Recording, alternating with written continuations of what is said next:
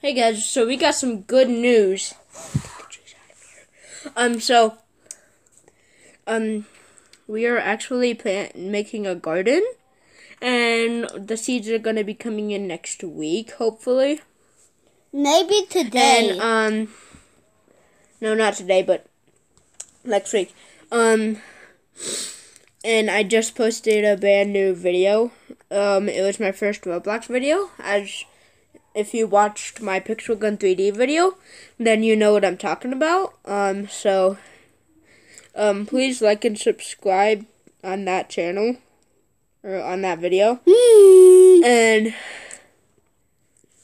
yeah, and also turn make, post notifications and on. make sure you eat these cheeses. They taste really good. Yeah, that's for your taste buds, boys.